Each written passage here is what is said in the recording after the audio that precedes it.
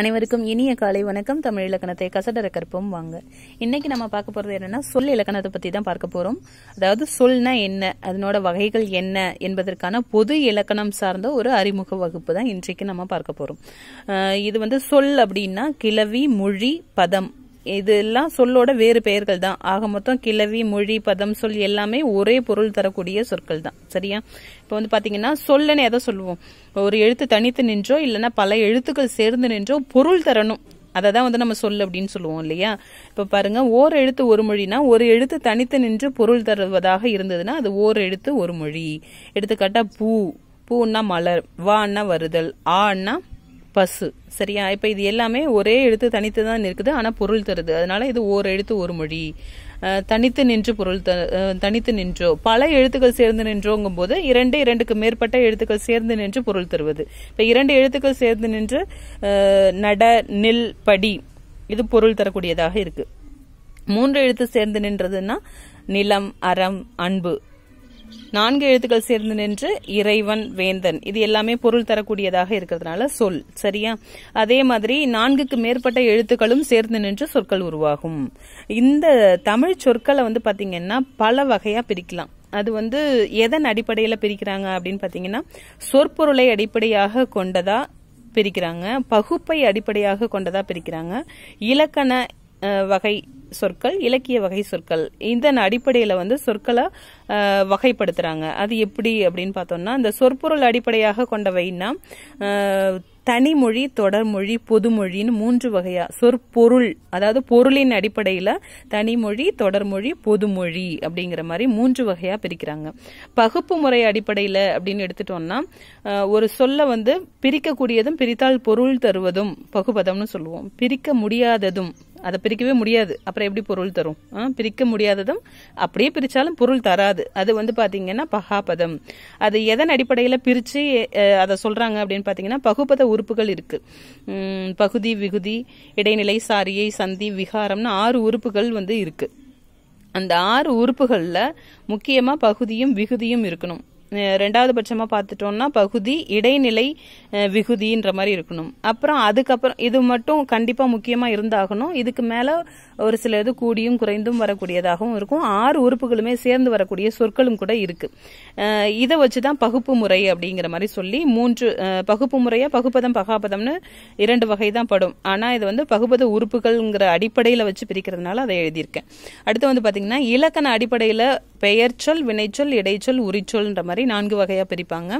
இலக்கிய வகையில் பார்த்தீங்கன்னா இயற்சொல் திரிச்சொல் திசைச்சொல் வடச்சொல்னு நான்கு வகையா பிரிப்பாங்க. இன்றைக்கு நம்ம பார்க்க போறது என்ன அப்படின்னு பார்த்தீங்கன்னா சொற்பொருள் அடிப்படையில சொல்ல வந்து தனிமொழி தொடர்மொழி பொதுமொழின்னு மூன்று வகையாக பிரிக்கிறாங்க இல்லையா? அதனோட விளக்கத்தை பார்ப்போம். இப்போ இப்ப இங்க பாத்தீங்கன்னா இந்த தனிமொழி தொடர்மொழி பொதுமொழிய மூவகை மொழின்னு சொல்லுவாங்க. இது வந்து பத்தாம் வகுப்புல கூட பதினாறாவது பக்கத்துல இருக்கும்னு நினைக்கிறேன். புதிய பாடப்புத்தகத்துல. இப்ப பாருங்க சொற்களின் வகைகள் அதாவது நம்ம எப்படி சொற்பொருள் அடிப்படையில சொல்ல வந்து மூன்று வகைப்படும் அப்படிங்கிற அந்த முதல் தலைப்பு இருக்கு இல்லையா? அதை தான் இன்றைக்கு பார்க்க போறோம். தனிமொழின்னு எதை சொல்லுவோம் அப்படின்னு பாத்தீங்கன்னா ஒரு சொல் தனித்து வந்து பொருள் தந்துச்சுன்னா அதுக்கு பேரு தனிமொழி அப்போ ஒரு சொல் தனியா இருந்து பொருள் தந்துச்சுன்னா அதுக்கு வந்து தனிமொழி வேற எதுவுமே அது கூட வரக்கூடாது. ஒரே ஒரு சொல் மட்டும் தனித்து நின்று பொருள் தரணும். எடுத்துக்காட்டு ஆன்னு எடுத்துட்டு ஒரே ஒரு எழுத்து தனித்து நின்று பசுங்கிற ஒரு பொருளை நம்மளுக்கு கொடுக்குது. வான்னா வருதல் அழை அழைத்தல்ங்கிற பொருள்ல வருது. இன்னொன்னு நில் அப்படிங்கும்போது நிற்கிறான் அப்படிங்கிற பொருள்ல வருது. படித்தான்ங்கிற போது படிக்கிறான். ஆக மொத்தம் இது வந்து தனித்தனியான சொற்கள் தான். இது எல்லாத்தையும் சேர்த்து நீங்க எடுத்துக்க வேண்டாம். ஒவ்வொன்றும் தனித்தனியா நின்று பொருள் தந்ததுன்னா அது தனிமொழி சரியா? தொடர்மொழினா என்னது? ஒரு சொ- அதாவது ஒரு சொல் இல்லாம பல சொற்கள் தொடர்ந்து நின்று பொருள் தரணும். அப்ப என்னது? தனிமொழினா ஒரு சொல் தனித்து நின்று பொருள் தருவது தனிமொழி.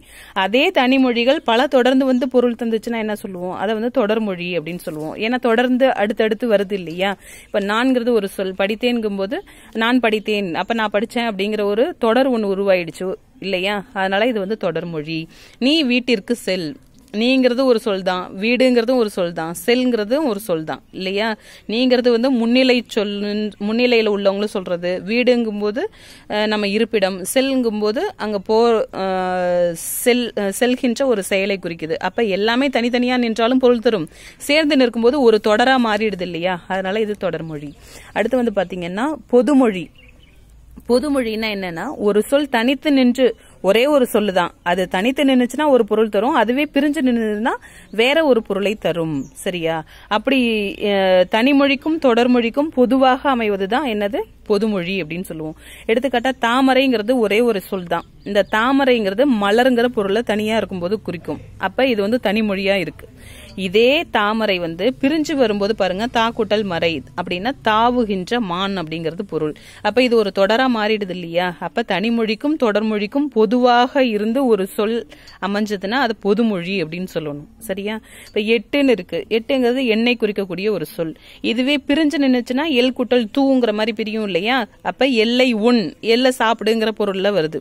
அப்ப எல் எட்டு வந்து தனியாக நிற்கும் பொழுது தனிமொழியா இருக்குது அதுவே பிரியும் பொழுது தொடர்மொழியா மாறிடுது இல்லையா? அப்போ ஒரே ஒரு சொல் தனித்து நின்று ஒரு பொருளையும் பிரிந்திருக்கும் பொழுது வேறு ஒரு பொருளையும் தருவது என்ன சொல்றோம்னா பொதுமொழி அப்படின்னு சொல்றோம்.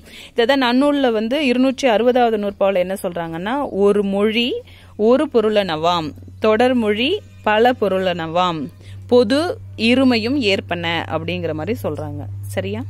இப்போ இந்த வீடியோ உங்களுக்கு புரிஞ்சிருக்கும்னு நினைக்கிறேன். இந்த வீடியோ பிடிச்சிருந்ததுன்னா லைக் பண்ணுங்கள் ஷேர் பண்ணுங்கள் மறக்காமல் சப்ஸ்கிரைப் பண்ணுங்கள் உங்களோட கருத்துக்களை கொடுங்க. நன்றி.